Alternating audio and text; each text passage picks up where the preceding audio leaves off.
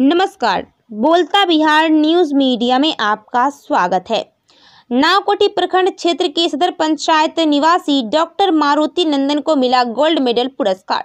भुवनेश्वर के एम्स अस्पताल में 7 जनवरी को चतुर्थ वार्षिक दीक्षांत समारोह मनाया गया, जिसमें सर्वश्रेष्ठ विद्यार्थी होने की वजह से doctor Ramnath Panigrahi gold medal पुरस्कार से सम्मानित किया गया। यह सम्मान केंद्रीय शिक्षा मंत्री धर्मेंद्र प्रधान और केंद्रीय स्वास्थ्य मंत्री मनसुख मानवाडिया के द्वारा गोल्ड मेडल का पुरस्कार डॉक्टर मारुति नंदन को दिया गया। गोल्ड मेडल मिलने से क्षेत्र में खुशी का माहौल देखा जा रहा है।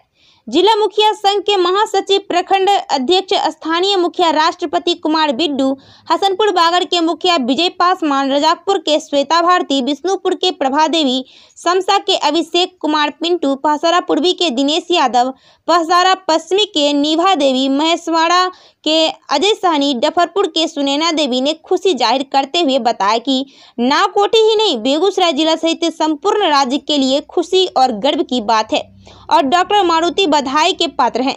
वहीं शिक्षाविद doctor Ramesh Jha, doctor Asha Jha, professor Hariram Singh, doctor Kundan Kumar, जिला परिषद प्रतिनिधि राजेंद्र शर्मा, मृत्युंजय सिंह, ई. रंजित कुमार पमपम मुकेश पासवान, टुनटुन पोदार रामनाथ उर्फ़ बुड्डुल सिंह, सुदर्शन सिंह, मुकेश पासवान, मुकेश सिंह, सुभाकर मिश्रा, अर्जुन पासवान सहित अन्य शिक्षाविद, बुद्धिजीवी एवं ग्रामीणों ने बधाई एवं शुभकामनाएँ दी।